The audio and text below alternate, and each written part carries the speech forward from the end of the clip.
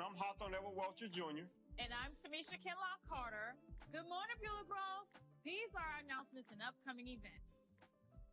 Attention, Beulah Grove. The Worship Arts Ministry is seeking participants for our candlelight communion service in December. If interested, contact Minister Kevin Staley at kstaley at. The Golden Ages Thanksgiving Luncheon will be held at the Resource Center on Wednesday, November 20th at 10 a.m. Please make a note that the Beulah Grove campus will be closed on November 28th and 29th in observance of the Thanksgiving holiday. The Resource Center is requesting food donations to assist with the restocking the pantry. We are in need of several food items to include meats, canned goods, and non-perishable items. Please contact the Resource Center for more details at the number shown.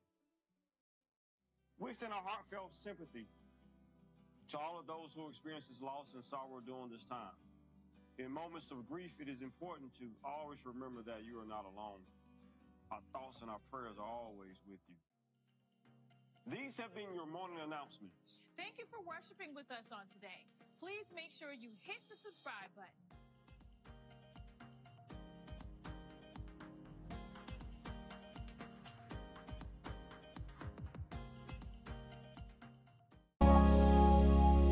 Morning, church. It's always a good feeling to be back in, in person or virtual. Glad you're here.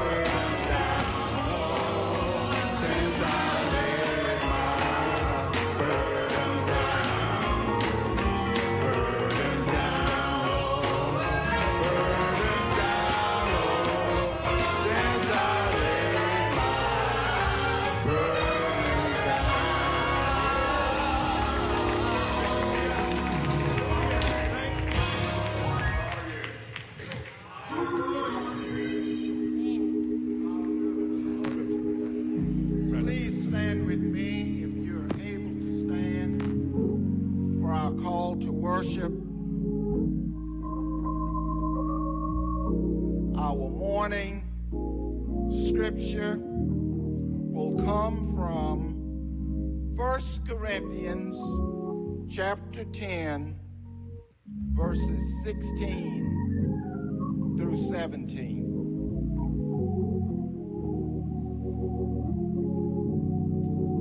the cup of blessing that we bless is not a participation in the blood of Christ? The bread that we break, is it not a participation in the body of Christ? Because there is one bread. We who are many are one body, for we all partake of the one bread.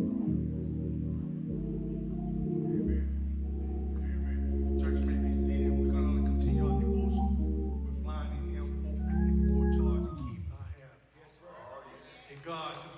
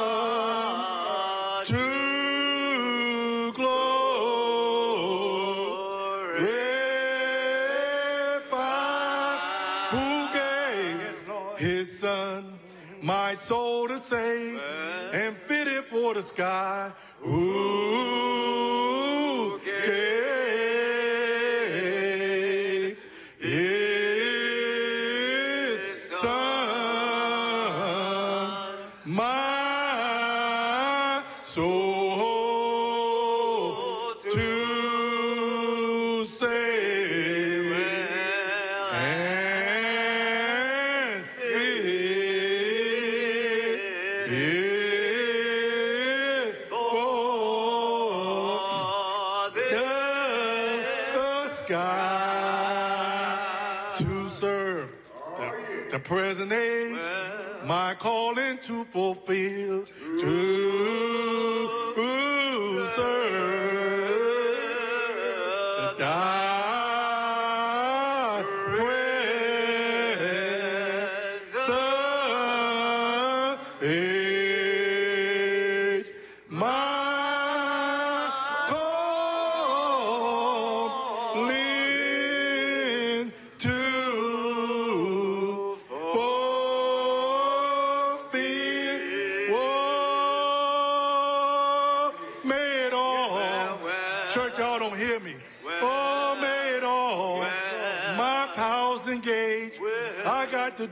my master's will. Oh,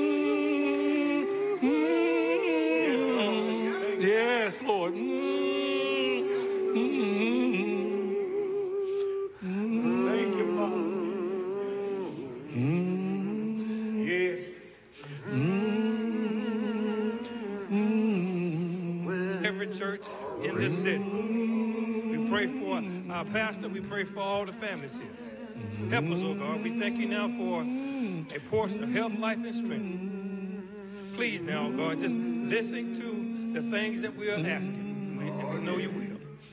Now, God, we thank you now for just allowing us to be able to say, thank you now, Lord. Thank you. Thank you, God, for just giving us health, life, and strength. We, we pray now that you help those folks that are going through some things. In this Thanksgiving season, oh God, pray for those folks that have lost their lo- loved ones. Give them what they need to get through this season. Now, Lord, we thank you now for all your blessings. In your son Jesus' name we pray. Amen.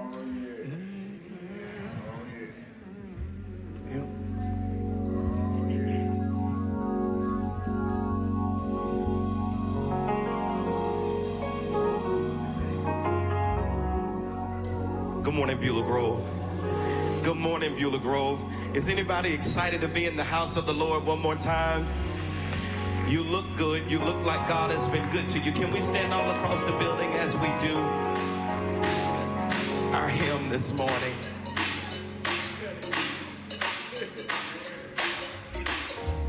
Come on, clap your hands. It just says that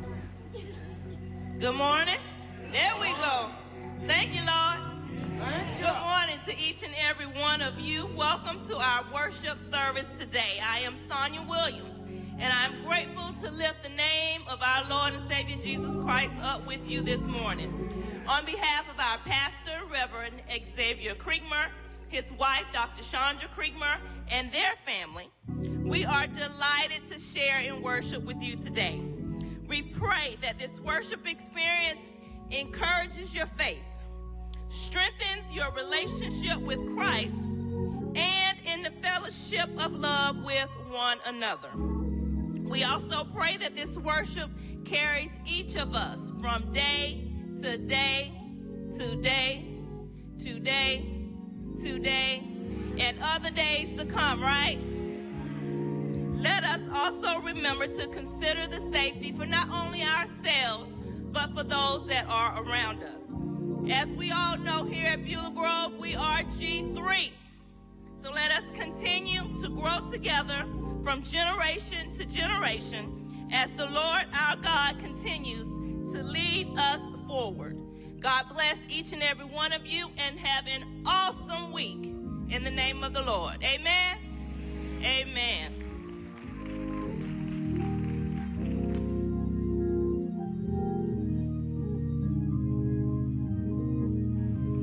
We greet you in the name of our Lord and Savior Jesus Christ, for this truly is the day that the Lord has made, and we have every reason to rejoice and be glad in it. I, I said, This is the day, not a day that you made, not a day that you woke yourself up, not a day that you even knew was going to come about for you, that the Lord has made and we all ought to rejoice and be glad in it. Oh, give thanks unto the Lord, for he is good. We are so grateful and glad that we serve a God who is great and greatly to be praised. I greet you on this Lord's Day. We are thankful to God that we are gathered together in the house of worship and we are excited about the fact that we can worship the Lord our God. I don't know about you, but I have been through too much not to worship him. He's been there every step of the way with me, and I know he's been there with you. And if you made it through this week, you got a reason to worship him.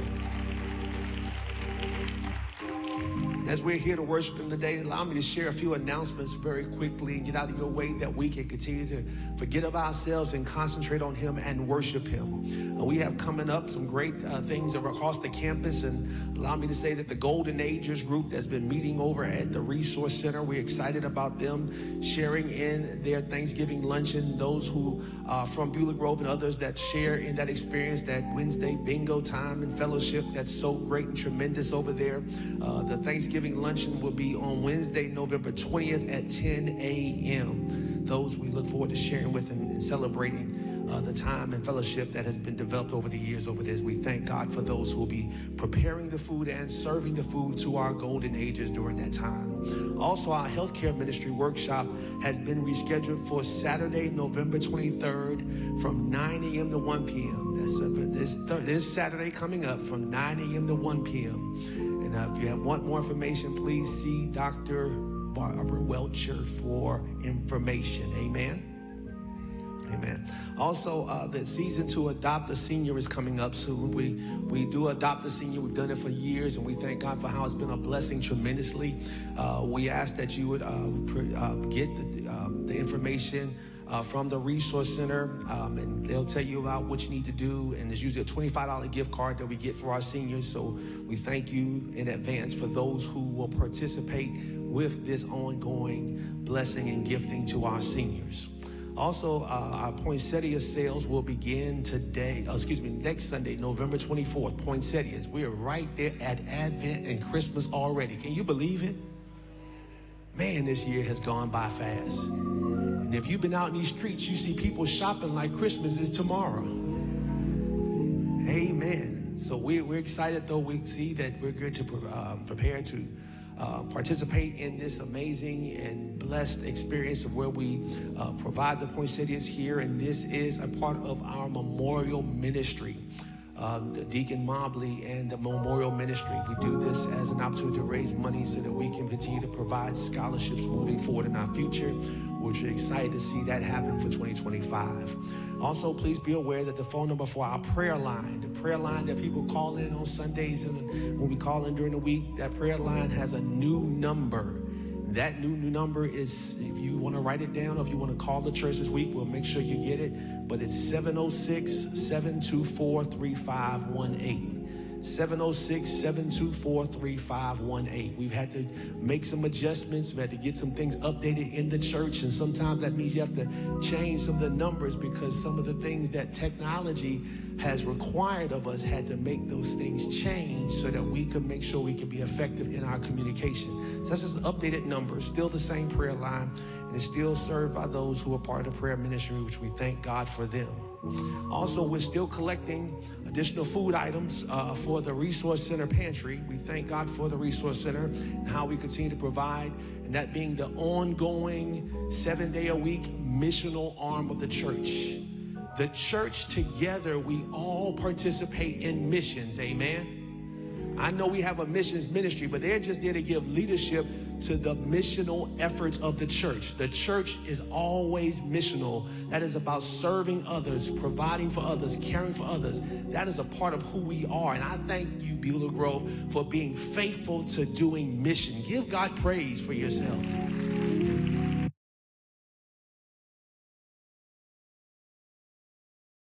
Thank you for those who have been bringing the canned goods and bringing things to help uh, restock our pantry. And we know that we're in that need. I know many have needs, but we also want to think sacrificially to help others because we've had the hurricane that came our way and it took everything off our shelves to help serve others. And we thank for those who are helping replenish those shelves by bringing some canned goods, bringing some non perishables that are being availed. And we thank God also because I got a text message just yesterday of another opportunity from outside of Augusta of those who want to bring some resources to help us. So we thank God for the continued efforts that come our way. Amen.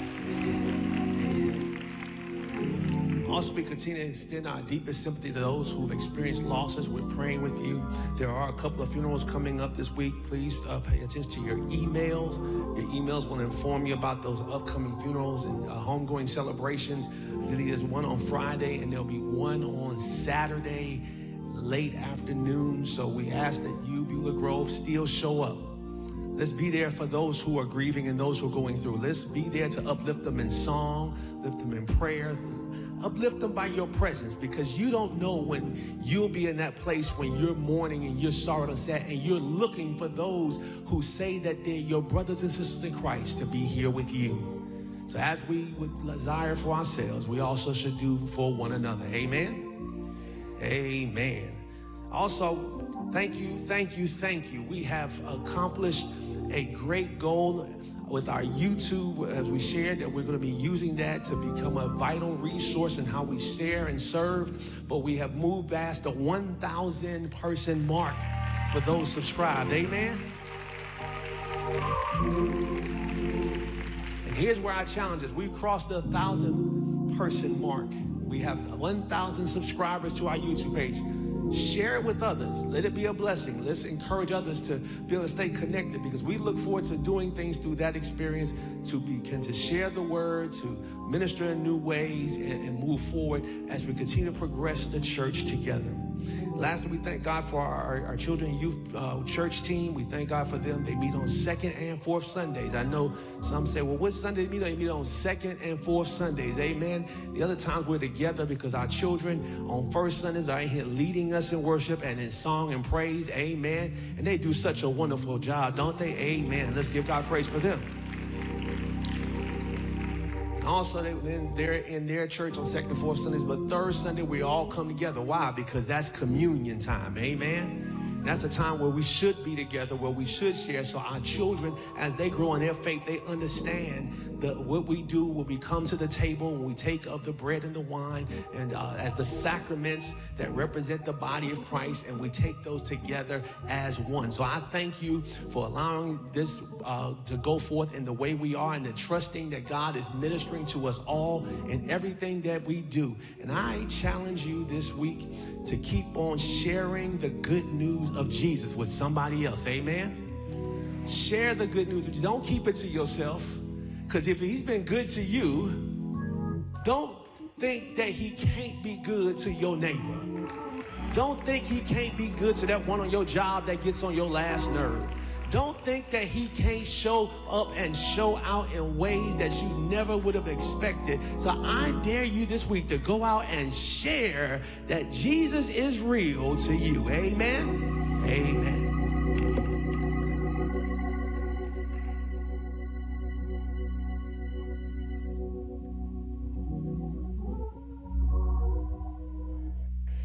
Amen. Once again, I'm Deacon Larry Rams. I'm here to do, do the prayer. And I'm asking everybody to close your eyes and think about the goodness of God. Amen. Just close your eyes and let's think on the goodness of God, what He have done for us. Father God, in the mighty name of Jesus, let me first say thank you. Thank you, Father God, because you woke us up this morning. Oh, Father God, you woke us up clothed in our right mind. And then, Father God, we had the activities of our limbs, Father God. Oh, Father God, it may, may have took a second or two, but we moved around, Father God, and we said thank you. And then when we woke up and looked around, we saw our family was still okay, Father God. We thank you for that right now. And then, Father God, you was gracious enough to let us come down here, Father God. Oh, Father God, we thank you for that also. Then, Father God, let me ask you right now. Touch somebody right now. Somebody's body is aching with pain. Somebody head is hurting. Somebody's limbs are hurting right now, Father God. Oh, Father God, somebody got cancer. Somebody may have diabetes. Somebody just may not know what to do in this moment. But we ask you to touch them right now. Move with them right now as only you can, Lord God. Knowing all powers in your hand. Oh, Father, we thank you. We thank you for this time right now, Father God. We thank you for this day, a day we have never seen and never see again.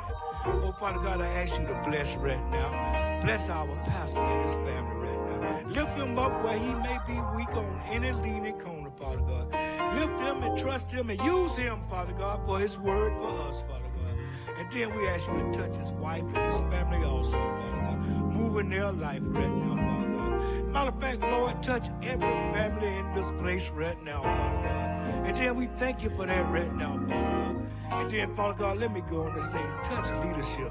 Oh, Father God, touch leadership right now, Father God, wherever it may be, Father God, locally or nationally, Father God. Move as only you can, Father God. But, Father God, because we're trusting you. Our hope is in you, not our leaders, Father God. And, Father God, we thank you for that right now.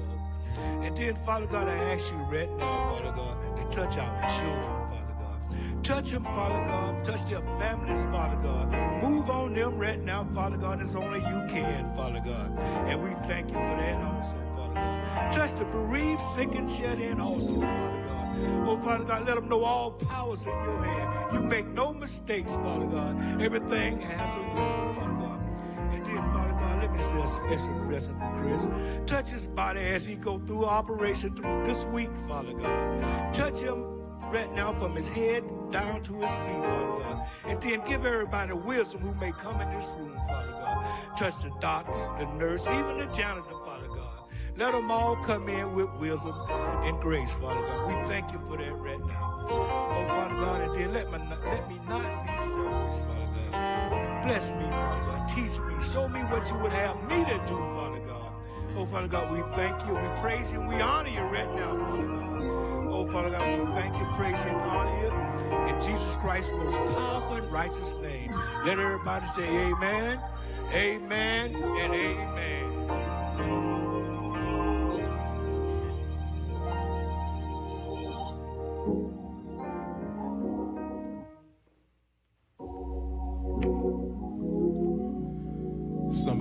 Give God some praise. Hallelujah.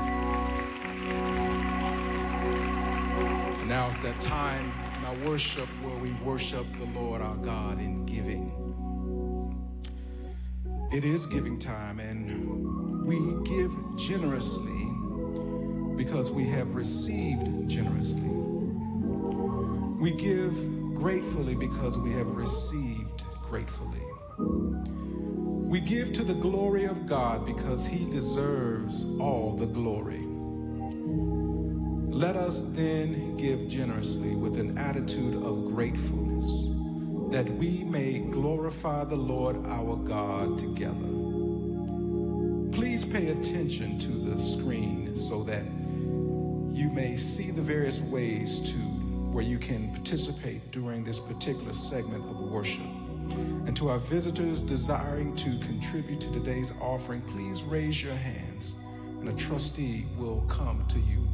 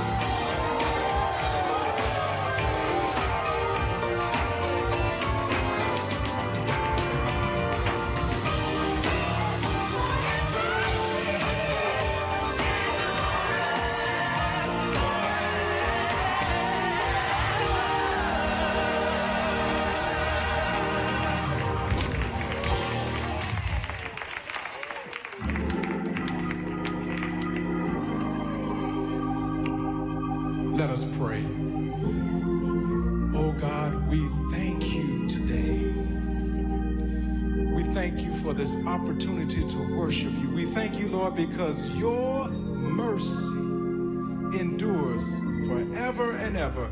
And Lord, as we worship you in giving, bless the offering that has been given. Sanctified, Lord, in, in your holy name. And Lord, we ask that you use it to advance and expand your kingdom. Bless all of those who gave, Lord, and continue to bless us in such a way support the work here at Beulah Grove. Now, sanctified in your love is our prayer. In the precious name of Jesus, we pray and give it all to you. Let every heart say, Amen, Amen. Don't stop praising him now. Because if you know Jesus is the way, the truth, and the life, no one can come to the Father except through him. You ought to praise him because he made a way for us. Amen. Would you bow in prayer with me? We can't stop thanking you enough for your saving work in our lives. To know that such a deliverance has come for us by faith that assures us that even where we are right now, that this is not it. And even though we're in days that are uncertain, days we're not sure of how tomorrow will be, we don't face these things.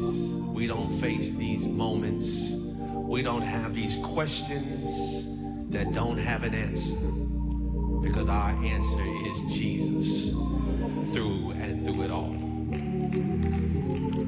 As long as we have that answer, we will live. As long as we have that answer, we will walk by faith and not by sight. As long as we have that answer, we don't get troubled by trying times because we know that ultimately the victory is ours through him. And now as we come to the time of preaching, to keep us in that course instead, I pray for this word, oh God, that you'd speak to me and through me, that these your people might hear and live according to the example that you, Jesus, have given us how to walk in this world and even in this season of life that we now experience. It's in Jesus' name I pray. We love you, Lord, and thank you. Let's all say together, Amen, Amen, Amen, Amen. If you don't mind joining me, Mark chapter 10, uh, verses 35 through 45. Mark 10, 35 through 45. And we want to say thank you again to Reverend Julius Johnson, who shared on last week on Veterans Day with us and preaching the word. And we were grateful to have him back home. And we thank God for him and where God is leading and guiding his life right now. We thank God for you for being faithful to hear the word and to receive the word and allow the word to take its root in your heart. For the seed truly was scattered on last Sunday to be able to help us to grow according to that which God gave to the preacher. So we thank God indeed for him and we thank God again for this time of preaching on this morning. And we invite you again, Mark 10, 35 through 45. If you don't have the scripture, uh, it should be on the screen and you can read along from there. The Word of God says to us in these verses, and James and John, the sons of Zebedee, came up to him and said to him, Teacher, we want you to do for us whatever we ask of you. And he said to them, What do you want me to do for you? And they said to him, Grant us to sit one at your right hand and one at your left in your glory. Jesus said to them, You do not know what you're asking. Are you able to drink the cup that I drink? Or to be baptized with the baptism with which I am baptized? And they said to him, We are able. Jesus said to them, The cup that I drink, you will drink. With the baptism with which I am baptized, you will be baptized. But to sit at my right hand or at my left is not mine to grant, but it is for those for whom it has been prepared. And when the ten heard it, they became indignant at James and John. And Jesus called them to him and said to them, You know that those who are considered rulers of the Gentiles lord it over them, and their great ones exercise authority over them. Hmm. But it shall not be so among you.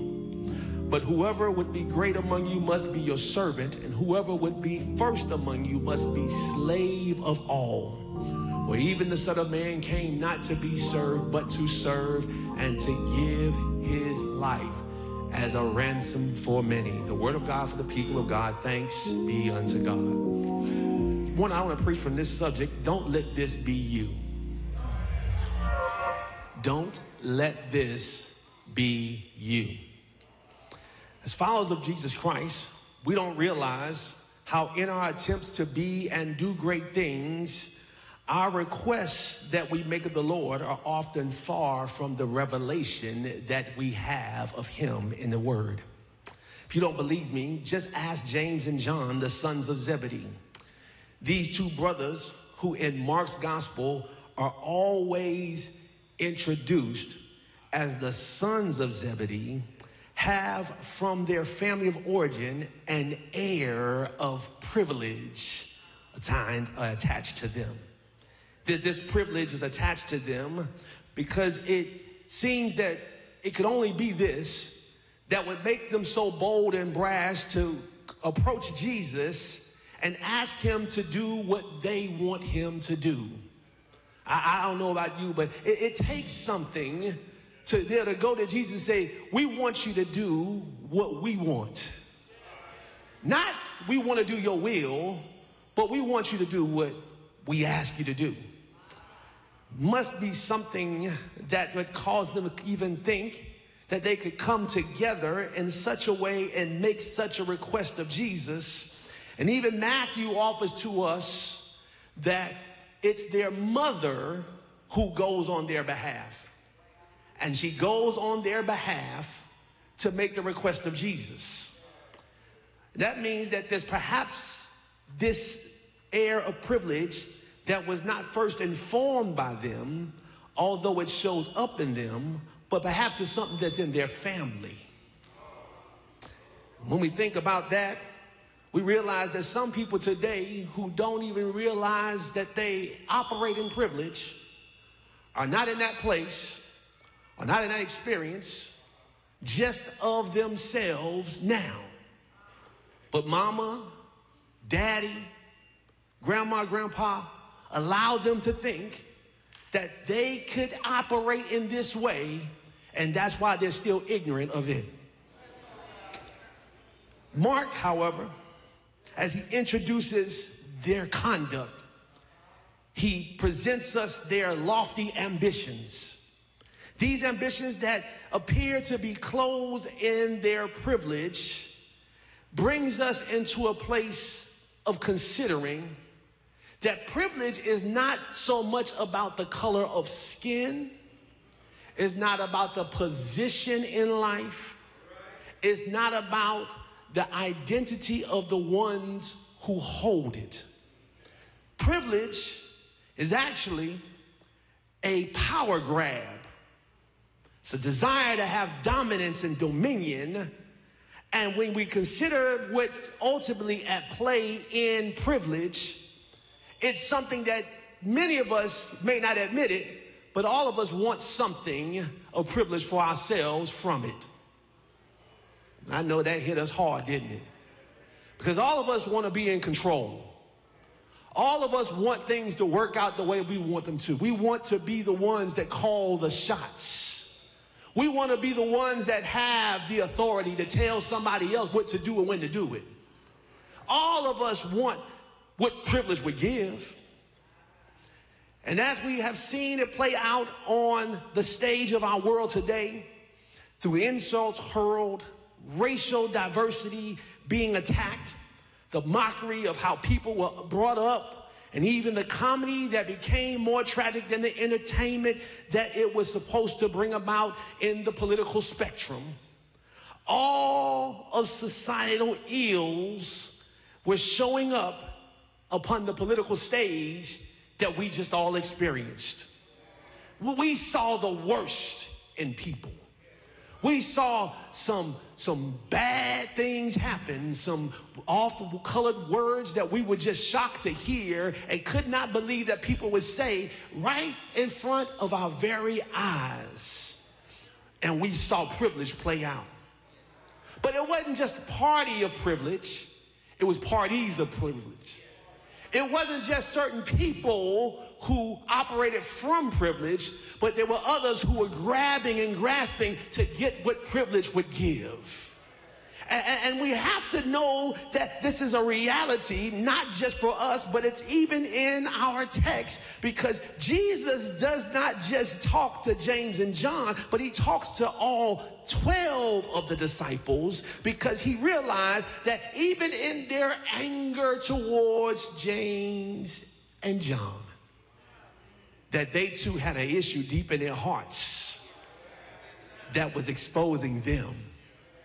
And I want you to know today, saints of God, that, that where we see this reality in the text, where we have experienced this reality in the world, that we must heed what Jesus says. He says, Don't let this be you. He, he says, Don't, don't let notoriety. Don't let fame, don't let authority and positions get the better of you thinking this is how you're supposed to live.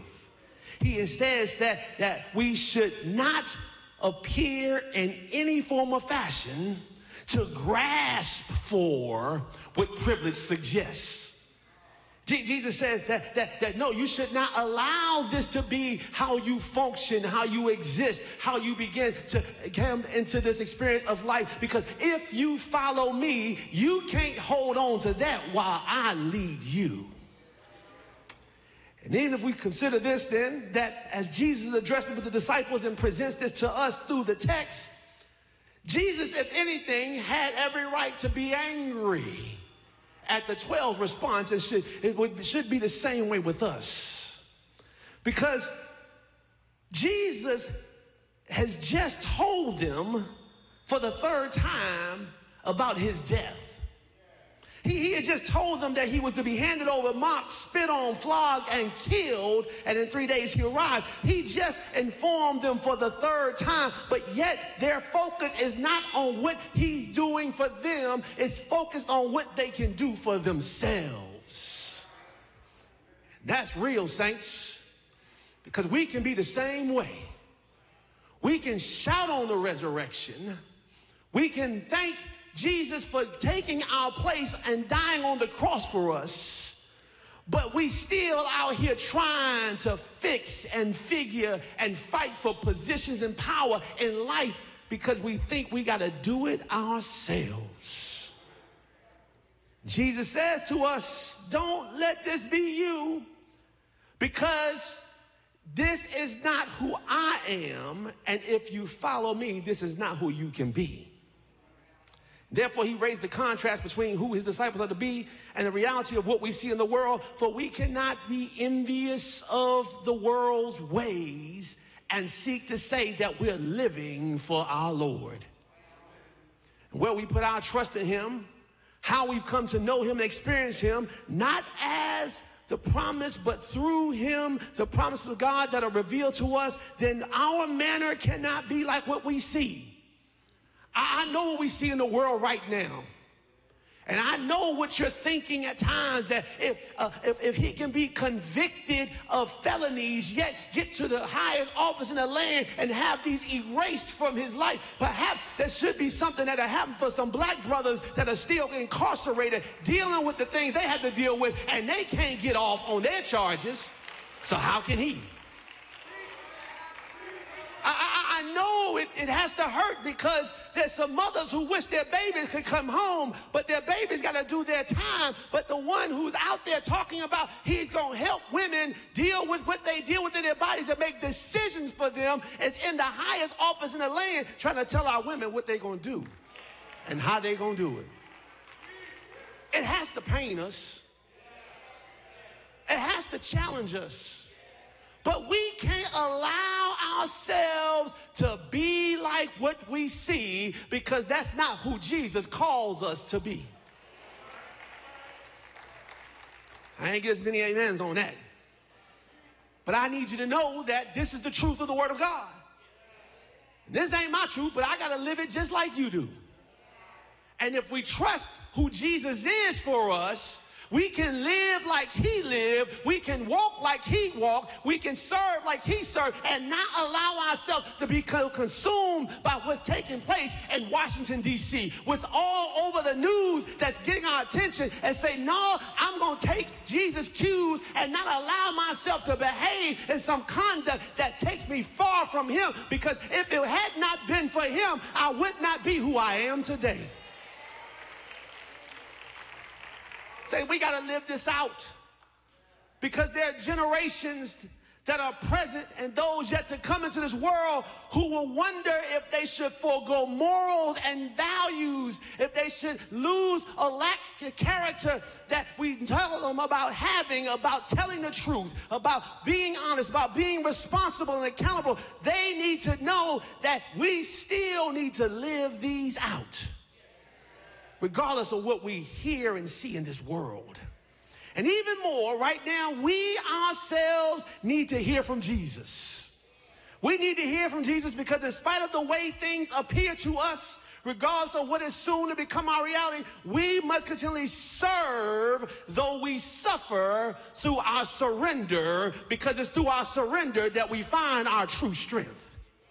See, you thought you were strong in yourself. You thought you could handle something. But now we're in a season where the only strength we're going to realize and recognize that makes us able to stand, the only strength that's going to be able to help us endure what we're going to experience and what we may encounter is going to be the strength that comes through our surrender. And I need some saints that's willing to say, I'm going to walk with Jesus. I'm going to let go of trying to handle this my way because if it had not been for Jesus, I wouldn't be saved. I wouldn't have the life I have. And if He helped me get this far by faith, I know He can lead me on. And I'd rather His character be evident in me rather than the character of this world that people think getting them somewhere, but they ain't going nowhere no time soon because they don't have the true power that Jesus gives. And if Jesus can give me enough power to deal with life as it's coming at me fast, I can trust that He's going to help me stand on this thing and get through these four years because I'm not going to let anything else be me but Jesus being for me.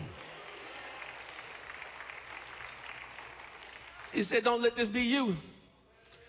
And if you're not going to let this be you, that means you have to trust that as a servant, which Jesus calls us to be, we must share in Christ's sufferings as servants, we must share in Christ's sufferings.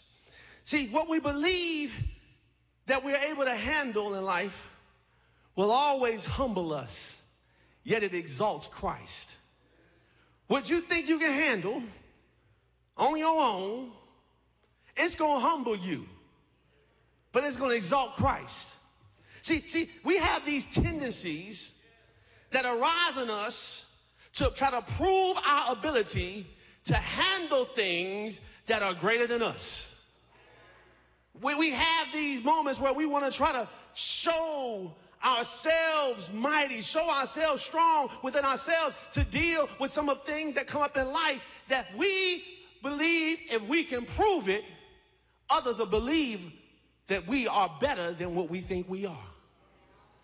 Sure, you, you, you've dealt with some pain in your life. Some of you have dealt with some issues or issues. Some have had struggles. Some have had heartbreaks and heartaches, and you made it out all right. And I thank God you made it out all right. I praise that you made it all right. However, there are some shared sufferings that we have with Christ that you and I have not yet been confronted with. Some shared sufferings. See, we thought that when we follow Jesus that it was going to be easy street. No, that some shared sufferings that we're going to experience, some things that we're going to experience along with Jesus and Jesus with us. See, Jesus responds to James and John in the text who have this request they made of Jesus to do what they asked, to give them seats at the right or the left. And Jesus responds to them with a question asking them, Can you drink from the cup? And can you be baptized with my baptism. And both of them were quick to say, Yeah, we can handle it. Ain't that like us? Jesus, I got this. Jesus, I can do this on, I, I'll take this one on. There, there's some things that we would suggest of ourselves to Jesus that we can handle, and we are speaking sometimes too fast before we take time to think about what we said. I, I know I'm telling the truth right there because the text helps us to see it, but at the same time, I know it for myself. And I ain't got scared to tell you that there's some time where I thought I could do some things that Jesus was telling me were going to be for me in life. And I thought I could handle them all by myself. Uh huh. I'll be that transparent because I hope that my transparency will help you come to the place where you testify you had the same thing too. You thought you could handle that marriage all by yourself. Thought you could handle raising them kids all by yourself. You thought you could handle the crazies on that job when you got that promotion, and now you got people under you that you used to walk with, and you heard how nasty they treated last boss, and now you the boss. You thought you could handle some things on your own. Spoke too soon, didn't you? When we speak too soon, sometimes, saints of God, we can find ourselves speaking out of turn speaking out of our own want to prove and to show and to serve, to tell other people that we deserve what we want. But it's strange to me because just like the disciples in the text, we speak sooner than some things that even Christ had not yet experienced. The, the disciples, they said they could drink the cup he would drink. They said that they could be baptized with the baptism that he would be baptized with, but Jesus hadn't even experienced his own Gethsemane moment yet. He, he hadn't gone to the garden where he prayed, where the blood, the, the, the, sweat dripped from his head that looked like great drops of blood. He had not had the moment where he said, Father, take this cup from me. Nevertheless, your will out, your will, but my, your, not my will, but your will be done.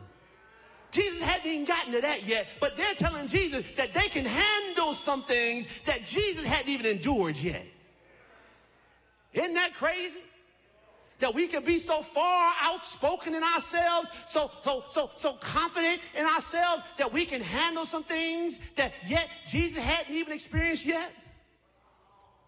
And this grips our attention because if, if Jesus would go through this, how, how can two disciples all of us, that we can handle what suffering's gonna bring our way. Yes, you've been through some things, saints, but that don't mean you're gonna be able to handle everything. And there's some things that are going to come our way that we're going to have to learn that, that if we're to endure them, if we're going to learn that we're able to make it through them, that we're going to have to trust that Jesus is the only one who can get us through our storms, see us through our valleys, help us to take on the sufferings based on our relationship with Him. See, the trials and tribulations that we've yet to face are on their way, but we can be encouraged because we don't face these times alone. We don't go through this by ourselves. We have Jesus who has gone before us, and his going before us allows us to know that if he can make it through this and we are in him, there's nothing that will come against us that we cannot make it through, we cannot overcome, we cannot be a great more than conquerors because of, because Jesus will see us through our sufferings if we'll walk with him. Jesus was burdened he was condemned because of sin that he took up on our behalf. And this reminds us that what we share of suffering with Jesus, that he also shares in it with you and I. And this is what he shares with us that humbles us. Because you ought to know without a shadow of a doubt that you and I could not make it without him. We could not make it without him. We could not be who we are without him. We could not continue to go on in this life without Jesus. And I'm so glad to know that where we can testify that the truth be told by each of us that we have come this far by faith, leaning on the Lord, that it was because of Him and the debt He paid for us that delivered us not only from sin, but also from oppression and those who engage in conduct that is oppressive towards us, that we are going to be all right because Jesus promised never to leave us alone. Said he won't leave you nor forsake you. But I like the way Peter, who is a major source for Mark's gospel, says it. He says, Beloved, do not be surprised at the fiery trials when they come upon you to test you, as though something strange were happening to you. But rejoice insofar as you share Christ's sufferings that you may also rejoice and be glad when his glory is revealed. Can I help you shout right there? See, you thought that these things that are happening right now were something that should not have ever happened in your life. But you shouldn't be surprised. Can I tell you why we shouldn't be surprised? Because we saw this behavior about eight years ago in our land. We saw how people conducted themselves then. So eight years later, here we are again with the same situation, the same government leadership, the same type of things going on. And we should not be caught by surprise. But we are to rejoice because though these trials come on every hand, we are not in strange times that are unfamiliar to Jesus who shares a suffering with us so we can rejoice that we are not in this alone. And where the hymn writer tells us that no, never alone, no, never alone, that he promised never to leave us, never to leave us again, we all ought to realize that you might feel like this is it. You might feel like all is over but the rent. But I'm here to testify to you today that these shared sufferings of Jesus will humble us so that we can lift him up, that we can exalt him and praise him and honor him for who he is. Because as long as we've got Jesus on our side, we're going to be all right and we will come through this. You might cry some days, you might feel down some days, but you can get upset. This is the day that the Lord has made, and I will rejoice and be glad in this. Why? Because Jesus is in this thing with me. He's in it with you. I'm so glad, no, he's in it with us because we don't have to find ourselves in a postural position where we are given to a place where we suffer all by ourselves. But Jesus suffers with us. Not only does Jesus suffer with us as servants, and we share the suffering with him, we also know that as servants, we then must surrender our safeguards. You got to surrender your safeguards. Walk with me. I know this is a lot, but I, I pray you'll get this. It's going to help us on the other side. See, often the attitudes and behaviors that are disagreed with by us, we sometimes will justify in ourselves when and where they appear to be beneficial to us. The attitudes that people have and the behaviors that although we know they are wrong, we sometimes will say, hmm, perhaps this might be what I need to do because it seems like it's going to help me get what I want. See, especially when those behaviors, those attitudes appear powerful enough to offer some sense of security to those who operate in them. Hmm. Those who attempt to establish their own allegiances, appoint those who validate them and their agendas, which seems to work well for them. So why not seek to dictate these things for our own lives because by them we can determine our own destiny. After all, they seem to be above the law. And nothing seems as if it will stop them now. But when we see this being the reality, both in text and in our land, Jesus warns us about this becoming our conduct. For see, when we See those who lord it over and those who exercise authority over others, their pursuits of self preservation by serving their own self interest, will always disagree with who Jesus calls us to be. I know that it looks like they got it all together. They got the plan laid out. They, they, they've got their, their project they want to work to try to set us back. They, they think that they got the idea the right way to make America great again. Hmm. But we can't allow then that behavior and attitudes to become us because we allow fear to seize us.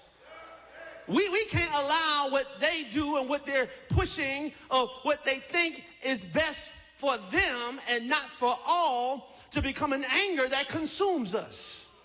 We can't allow the pride that they demonstrate to become a pride that we then take on to exalt ourselves, causing us to become conformed to the world rather than becoming more like Christ.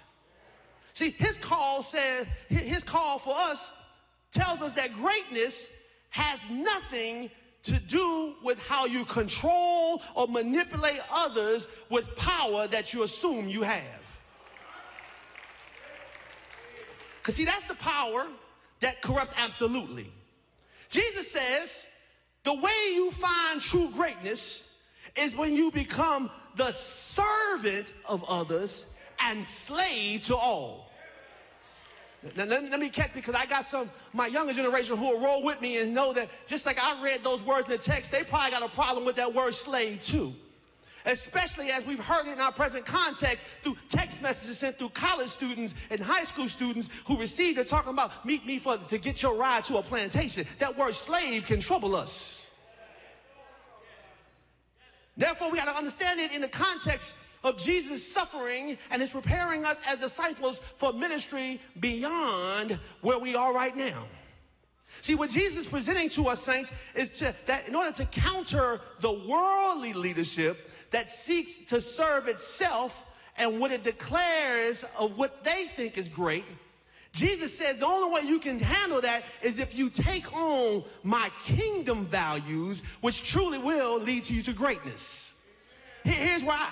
See, the, true impact of being a servant and even more a slave to all is to live a life that is not self centered, but other centered. Uh huh.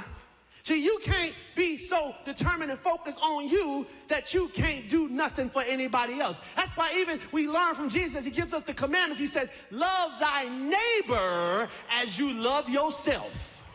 And if we can get some neighborly love amongst us, it will show and prove how much we love ourselves because we realize that when we're not so focused on us, when all things ain't got to be about what we want and how we want it, we can trust and know that we are called not to serve ourselves, but to serve one another.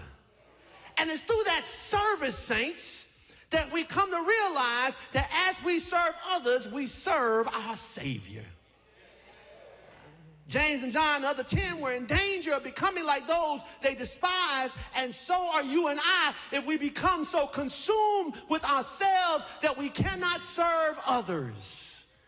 We can become so consumed by ourselves to think that even in these times we've got to hoard and hold on and, and keep back and put away so much because we're afraid of what's to come. No, Jesus said, don't live in such a mindset of fear that you serve yourself because that's what they do out there. They're trying to control people. They're trying to keep people in their place. They're trying to check others because they're trying to preserve themselves. But why must you preserve yourself when I already saved you and secured you, not just now, but for an eternal future. Jesus says, You got to trust me and walk with me and know that I'm able to keep you when the world is against you. I'm able to help you when it says the world's going to hurt you.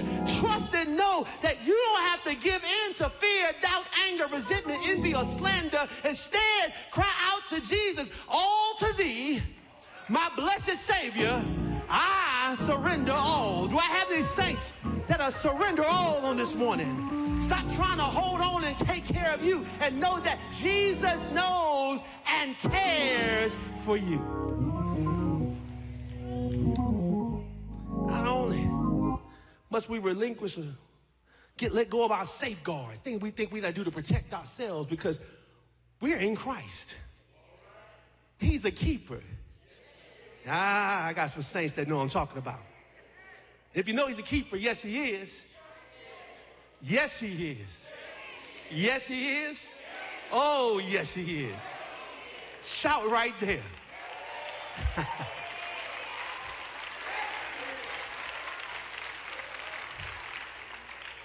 because he keeps us, we don't have to hold our safeguards.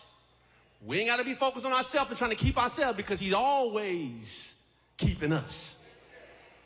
And that makes it a clear path for us then to strive in every way to meet Christ's standards. See, see, Jesus never lived a life in which he exempted himself from what he taught. You, you can pretty much say of Jesus, he practiced what he preached. He, he forgave others. He loved his enemies. He showed mercy. He lived these things out completely, setting forth a standard that he calls us to live. Mhm. However, when we seek to live our lives in the way of his life, it means that we must not consider any other standard but him. Because that's the only way you can get his life is if you let him be the standard for your life. See, see, both the sons of Zebedee eventually got this. And John even declared it in 1 John 3:16, in which he says, By this we know love, that he laid down his life for us. And we ought to lay down our lives for one another. John got it. But he didn't get it right away. And I need you to give yourself some grace. Because if you're not gonna let this be you, perhaps you haven't gotten to that place fully where you know how to lay down your life. It's a process. Because on the other side of salvation, you just don't lay down your life. You still hold on to some things. You still have some struggles, some issues, some things that you have not yet confessed and let go of freely so that you can live in the standard of Jesus. Knowing though the standard that Jesus is and living up to him releases us from the bondage that we can find ourselves still in because we're trying to measure up to those who think because they're in power now that they're all powerful. Jesus delivers us, saints, from worry. That if things don't happen the way we believe they should, that we don't find ourselves thinking that all hope is lost. Instead, Jesus, by his standard, directs us towards his surrender. And this is what sets us free. And he who the Son sets free is free indeed. Therefore, when we look to him who is our standard, we as standard bearers trust that in Jesus we have come to know ourselves and can lead others to also see themselves for who they truly are. To know then our weaknesses, our vulnerabilities, and our vices. To realize our own wants for power and control, and that we sometimes want every situation we're in to be in our favor and to get what we want, but that's not just the way things go. I know, I know, I know you ain't gonna shout on that. Because we holler favor, church running. Favor over you, favor me, favor my bank account. We shout over that. But everything don't work in our favor, but that don't mean we lessen our standard. Because the standard of Jesus is so much greater than us that we can keep growing up and maturing in Him that we should not become frustrated when things don't happen the way we thought they would. We don't get so caught up in ourselves to be consumed by trying to figure out who didn't vote and who did vote. But instead, we turn ourselves again to Jesus and say, We're going to trust you so that we can show others compassion, that we can continue to walk in this thing called faith, that mercy and love be abundant in us, and it gives us no room for our own petty plays for power because we know the one who has all power in his hands.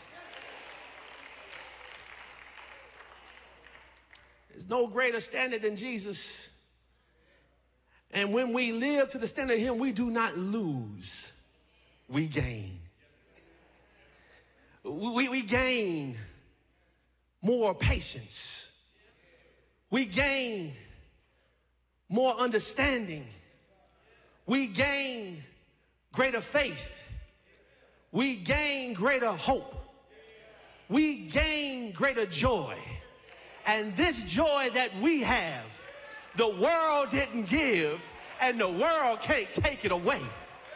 And I don't know about you, but I feel good right there because in the midst of where we are in the world, we need some joy.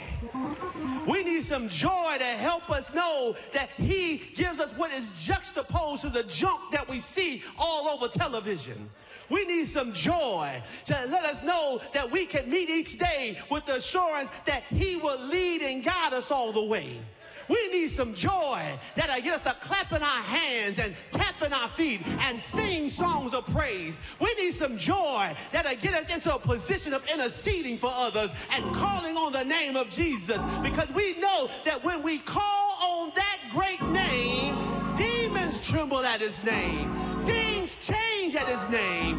We don't have life as we know it. We have life as he gives it because we have Jesus' joy. Do I have any saints that know about the joy of Jesus and all that it blesses us to have in our lives? Oh, it's his joy that he gives that we gain when we live to the standard that he is. I, am not closing yet, but but I'm almost there. See, great. I, I, I, I gotta. Joy just gets good in my spirit. Joy puts a smile on my face.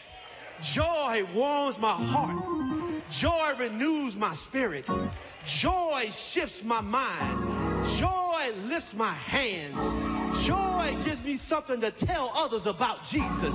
Joy makes me so feel so good. Joy does so much in my life. I don't know about you, but right now this joy moment has got me and it's taken a hold of me to know that to this joy I have because I know who gave it to me. And as long as he keeps giving to me, I'm going to keep living for the one who makes me glad.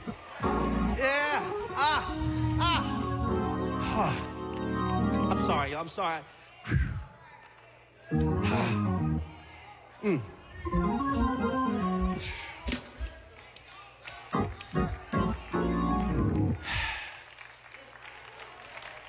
I got one more for you. The joy of the Lord is your strength.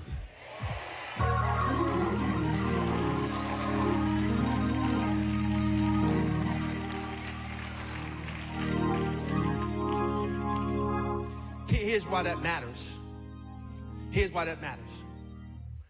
And I'm not going to give you the long quote. I'm going to give you the simple quote from Gregory Nazianzus, a monk and theologian. He says, let us become like Christ, since Christ became like us. Let us become gods for his sake, since he for ours became man. He assumed the worst that he might give us the better. He became poor that through his poverty we might become rich he took upon himself the form of a servant that we might receive back our liberty, and he came down that we might be exalted in him. He was tempted that we might conquer. He was dishonored that he might glorify us. He died that he might save us. And it's his saving work for me that causes me to refuse to live life by any other standard than the one he set. It's his dying that gives us life that assures me that in this life, although we have trouble, we can take heart because he's already overcome the world. And I'm so glad to know that we, we serve a Jesus who's already overcome the world and has already taken on death, hell, and the grave, that we ain't got to worry about those things, but we can keep living for him. And as Paul says, we can have this mind in ourselves, which also is ours in Christ Jesus, who though he was in the form of God, did not count equality with God a thing to be held tightly, but he emptied himself by taking on the form of a servant, being born in the likeness of men, and being found in human form, he humbled himself by becoming obedient to the point of death, even death on the cross. Therefore, God has highly exalted him and bestowed on him that name that is above every name. At the name of Jesus, every knee should bow, even in all of Washington, D.C., and every tongue should confess on earth and under the earth that Jesus Christ is Lord. Do I have any saints that know that he is Lord? He is Lord. He has risen from the dead and he is Lord. And because of the standard that our Lord has set for us, we don't have to become troubled because of what we see. We don't have to become down because of what's going on. We can keep on knowing that it's a day coming when every knee shall bow and every tongue confess. I know they saying all kinds of lies. I know they're talking all kind of crazy talk, but don't you worry because every knee must bow and every tongue must confess that he is Lord. And as long as he is Lord, as long as he is King of Kings and Lord of Lords, we don't have to be like this world because we have one greater than the world who's already overcome it for you and I. Give God praise.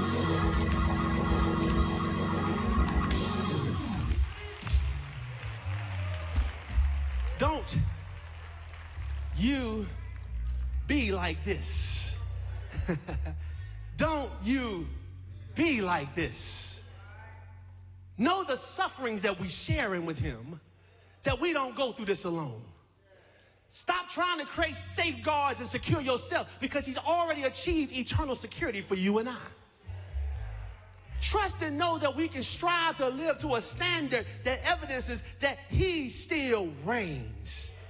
And as long as he reigns, we don't have to worry about those who try to set up their rule on the earth.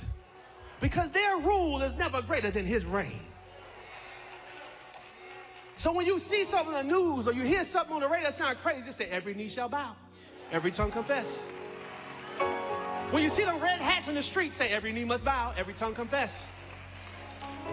When people on your job start talking crazy, every knee must bow, every tongue confess. It's a day that's coming and they can't stop it because Jesus has already suffered for it and God has declared it. And I'm so glad to know that trouble won't last always. And that gives me joy. See, I'm back there again. And that's what makes me happy enough to say that I'm not worried about tomorrow because I know the one who holds it. I know the one who will make a way. I know the one who already worked all that we can know that it's going to be okay. Don't you get down on yourself. Don't you get lost in this thing because we are better than this.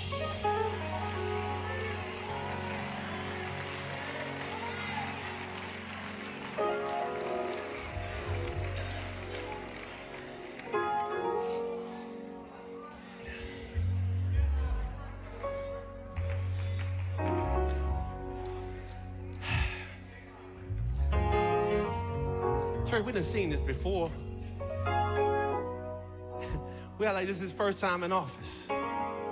We saw how he did then. So we know how things gonna go now. And don't you be caught by surprise. These are just trials we face. But these trials only come to make us strong.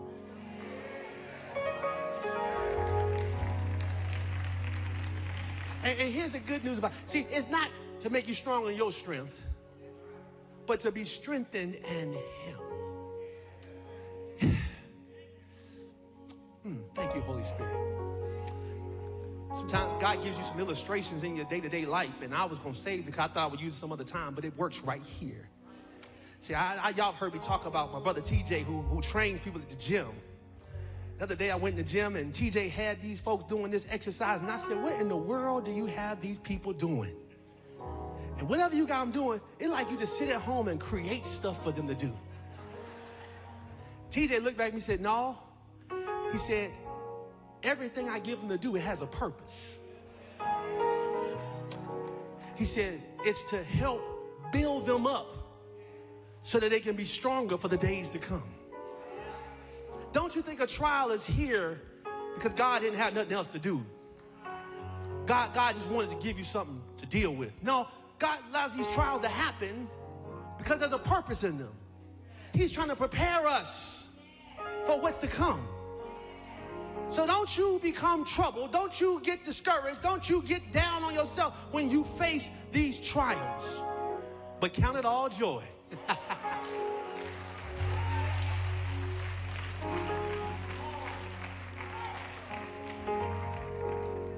Because they're going to come. But He assures us that they have a purpose in our lives. We're going to be all right, church. We're going to get closer. We're going to become the disciples we're called to be. We're going to build community. And we're going to help one another and care for each other the way Jesus has set a standard forth for us to do. The great standard of Him we strive for. The great standard of Him we yearn for. The great standard of Him we believe on Him for to be evident in our lives. In every way we glorify Him.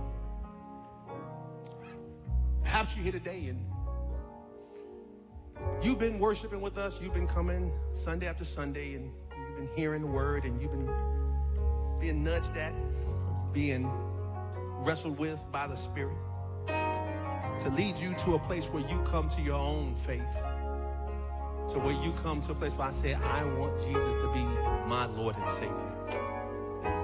I, I need Him in my life. Because I've been trying to live a standard of other people, and their standards keep changing.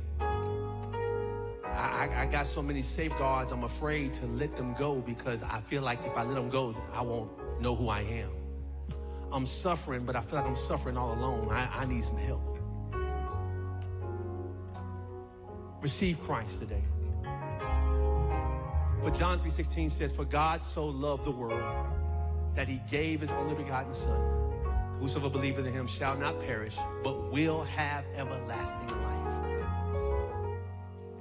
And all you got to do is what Romans 10 and 9 says, if you confess with your mouth and believe in your heart that God has raised his son from the dead, you shall be saved. So we offer Christ today. Won't you come receive Christ? And if you don't have a church home, if you don't have a community of faith where you're partnered to help you grow, to walk with others who are trusting in Jesus, seeking and striving to live the standard of Him, we offer you join with us here. If you're virtual, join with us, partner with us, and let's walk this faith thing out together. We're never called to walk this alone, but the community of believers that join together, trusting and believing in Jesus and all He is to us and for us. So as praise team sings, we invite you to come, receive Christ, partner and join with us here at Beulah Grove. Jesus Christ is Lord,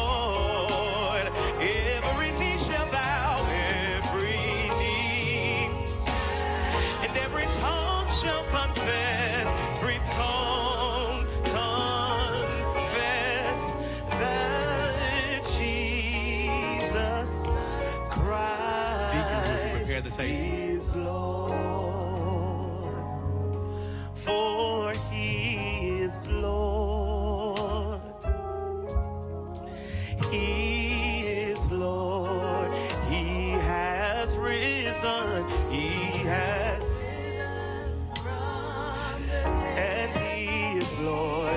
Ministers, would you convene in the table?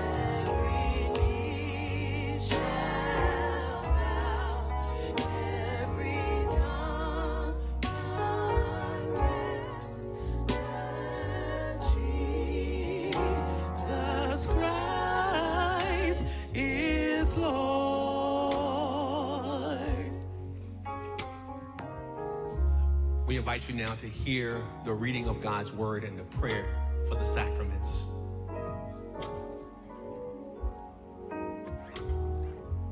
Now, as they were eating, Jesus took bread and, after blessing it, broke it and gave it to the disciples and said, Take, eat.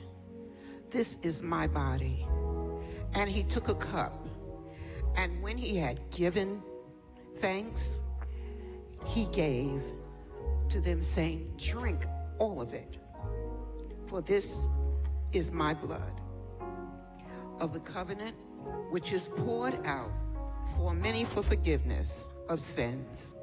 I tell you, I will not drink again of this fruit of the vine until the day when I drink it new with you in my Father's kingdom. Father God, we come before you right now. First and foremost, Father, we're going to say thank you for what you've done, what you are doing, and what you will do, God. But now, God, we come before you for this special time, Father. We come before you, God, to ask you to bless these sacraments, Father. We ask you to bless the bread, which represents your body.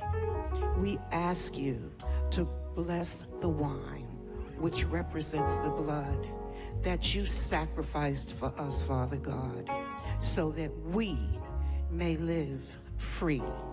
Father, we ask all of these things in your Son Jesus' name. Amen, amen, and amen. At this time, is there anyone who's been overlooked by the receiving of the bread and of the wine? If you raise your hand, our deacons will quickly come to you. Keep your hand raised for us.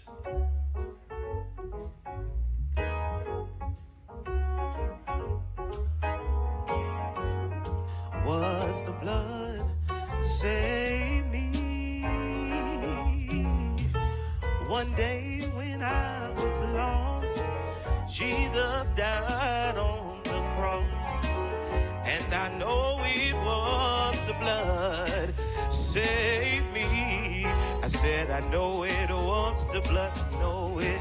Was the blood i said i know it was the blood. No, it was the blood. Save me. One day when I was lost,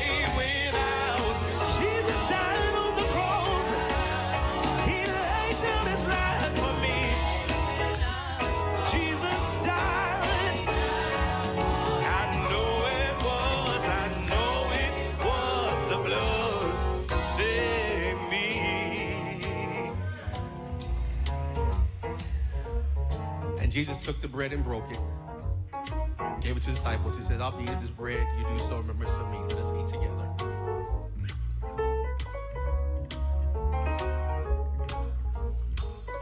Likewise, he took the cup, he gave it to his disciples. He said, This cup represents the blood of my sacrifice for you. Let us drink together.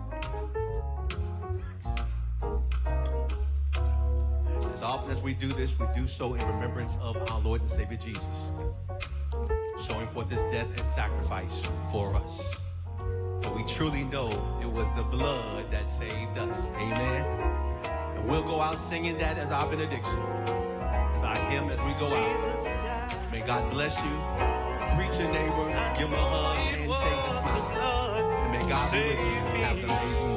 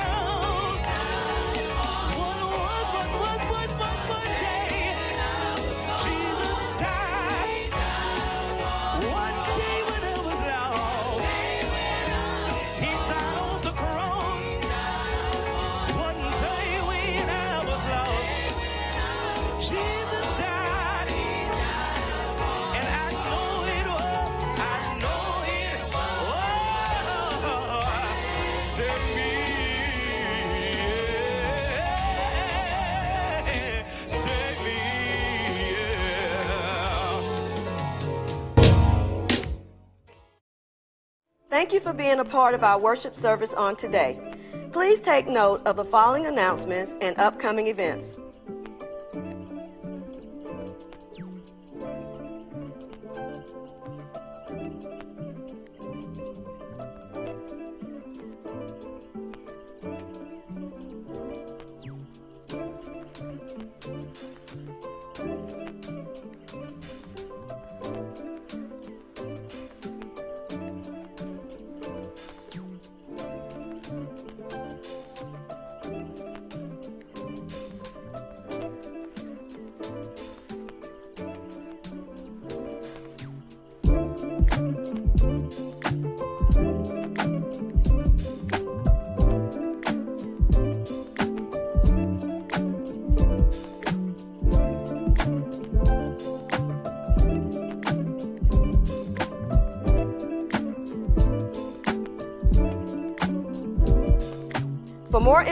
Information about the Beulah Grove Baptist Church, please check us out on YouTube and Facebook or visit our website at beulahgrove.org.